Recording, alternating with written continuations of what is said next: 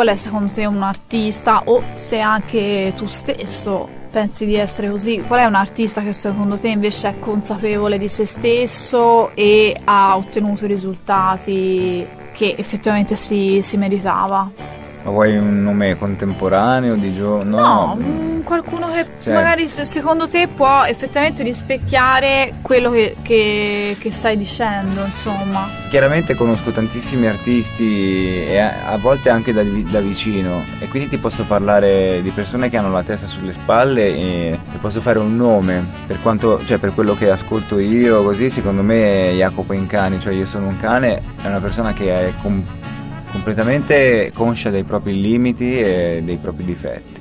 Per esempio, lui è una persona che ed ha molto da sviluppare soprattutto, cioè non è uno che dice delle cose qualsiasi, cioè ha, un discorso personale molto, molto originale. Cioè, a molti anche non piace e io pure trovo magari dei, dei punti in cui magari mm, non riesco ad avvicinarmi più di tanto.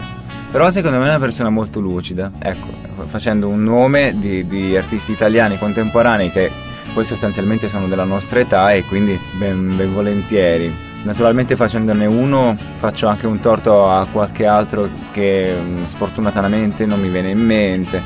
Invece, secondo me, tra le figure eh, mitologiche, non certo per me, perché io cioè, veramente di miti non ne ho, però credo che tra i grandi artisti, i cosiddetti grandi così, uno che nonostante magari sofferenze, eh, sbandamenti e, e, e, chissà come adesso viva la sua vita. E io credo che uno che non ha mai perso lo smalto di se stesso è Francesco De Gregori.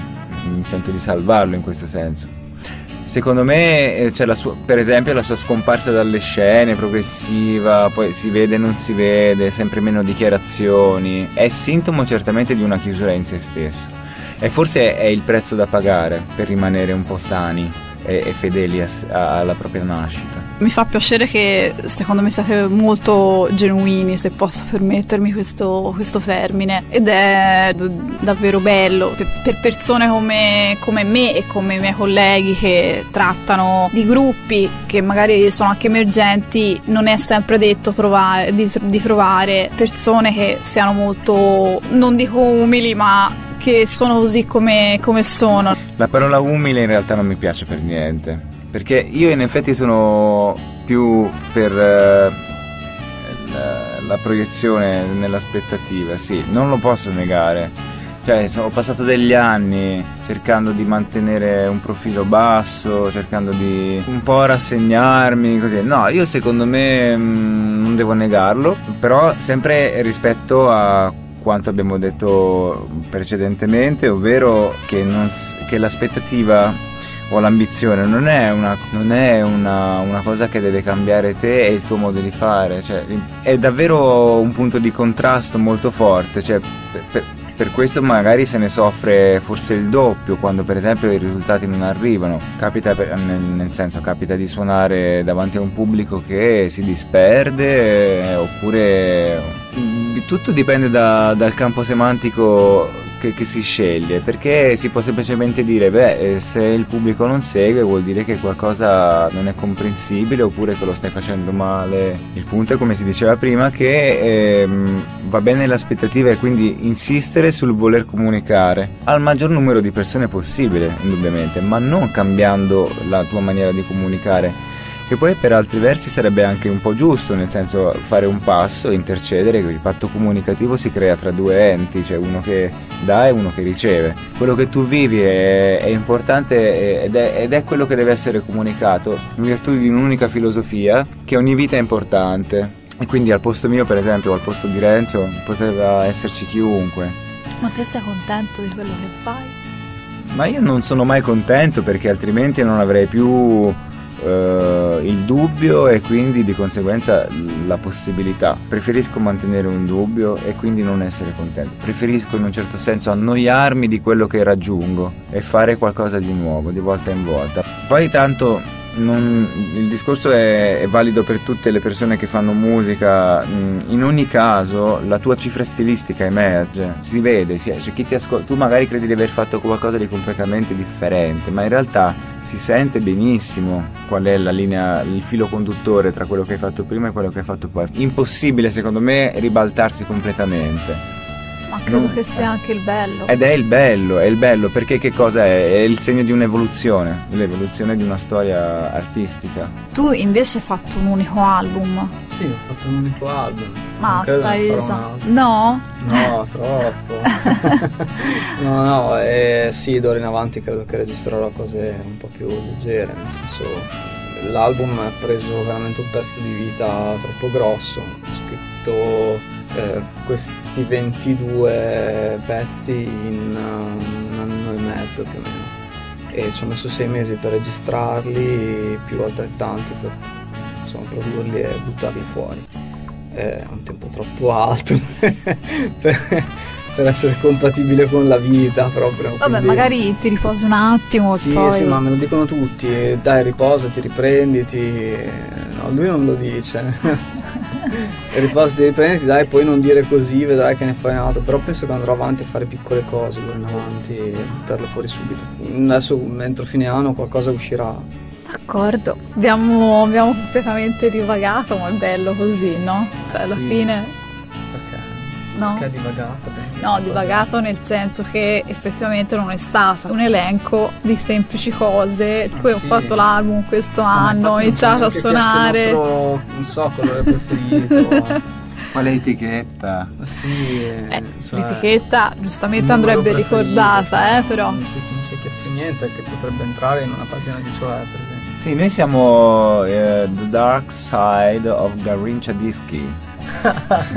Siamo della linea Dark Side. Sì, la Garrincia Dischi, che sì. è un'etichetta di Bologna, mh, nata da esperienze eh, di amicizia e si, si, sta sviluppando con anche de, de, dei risultati notevoli con gli ultimissimi stato sociale che in questi giorni spopolano i social network ed effettivamente ci sono Mm, si possono trovare due anime in questa etichetta, una dove risiediamo 33 ore io e nel dubbio, poi magari i manzoni. E gli altri invece rappresentano la parte luminosa di brio devo dire anche sì, piuttosto scanzonata. Insomma, comunque è un'etichetta ricca e, e sfaccettata, questo lo, è, è la, lo, dimostra proprio questa varietà di, di produzione. Siamo contenti di, di, lavorare con Garincia Disc perché poi a tutti gli effetti, essendo un'etichetta nata nel piccolo e adesso pian piano sta diventando sempre più importante, insomma, è, con, con una determinata stratificazione delle operazioni e della produzione però in realtà abbiamo partecipato magari a qualcosa di, di, di pratico per, per l'etichetta, si, si, trattava di vere e proprie coproduzioni, quindi di prendere decisioni insieme, fare anche del lavoro semplicemente, io magari ho fatto dei disegni, delle, delle cose così, e, è piacevole, è bello, è bello poi possiamo andare oltre a parlare di gatti e cose così, però... Ah, per perché oggi visto... è la giornata del gatto. È la giornata del gatto, allora io vorrei segnalare un sito, non mi ricordo l'indirizzo, però Cats and Cake probabilmente si chiama, eh, ci sono tante fotografie di gatti con la testa infilata in fette di pane ah, in cassetta. Sì, nuovo. Io vorrei segnalare un altro sito che si chiama Stuff on My Cat ed è pieno di immagini di gatti ricoperti di oggetti stuffonmycat.com io non prendo un dollaro da tutto questo ovviamente. Però ci vai ogni tanto a vederlo. però molto spesso ci vado a vederlo. Diamine oggetti sopra i gatti cioè internet è, è stato arte. creato per quello questa è la nuova arte ricordo. Sì nuova poi nuova insomma neanche no perché è vero hai detto una cosa intelligentissima è vera questo era internet una volta. cioè, basta sì, con questi social cioè, network dove. Basta, i gatti, cioè, i gatti. Cioè, internet è nato per due cose, i gatti e il porno. Non è che ci sia no, molto per, da. Per tre cose, anche per l'effetto blink, cioè quegli oggetti che le scritte tipo che lampeggiavano, le gif animate che lampeggiavano. Queste sì, tre cose servono. Tre cose, cioè basta. inutile fare i fighetti e dire che internet serve per la stampa libera. No, ma chi se ne frega. No, è tutto finito, è tutta una farsa. Guarda, tu con que- stai registrando funzionando con un iPhone. Ti rendi conto? Cioè, sì, in questo, in questo momento generazione, tra eh. l'altro, santo cielo, cioè tutti i presidenti de, de, de, delle nazioni del mondo sanno dove ti trovi adesso e sanno che cosa stai registrando. Eh. No, voi Ci scherzate, ma molto spesso a TG si vedono giornalisti che fanno le interviste con l'iPhone davvero. Eh, ma Cioè, registra anche bene l'iPhone. Il punto è che un alt- cioè, il punto è che è una conquista. Forse dovrebbe dirlo lui, lo sa. No, Queste perché cose. dirlo io. Eh. Queste No, cose allora lo dico io io. che non sono l'esperto, dai, provo a dirlo con parole mie. Cioè, sono gli oggetti che ci porteranno ad avere le mani sempre più ravvicinate, non lo so, senza possibilità di toccarci intorno. E l'esperto è d'accordo? No, l'esperto ovviamente non è d'accordo, ma è bene che sia così, perché per me ogni mezzo è buono.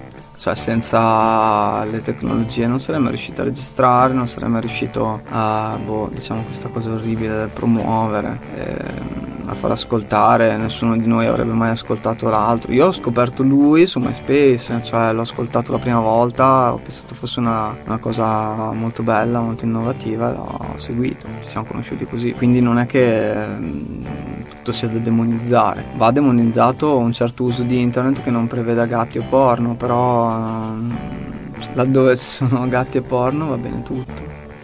Esatto, tutto rimane nelle mani delle persone, nella, nella scelta. Sì, sì, sì, assolutamente, cioè è un mezzo. Quindi idem è l'iPhone. Sull'iPhone posso scrivere il nuovo romanzo che entrerà nella storia. Non importa, ci metterò più tempo, però lo posso scrivere. Eh, che poi non lo faccia o meno, solo un dettaglio. Comunque mi avete dato una buona idea.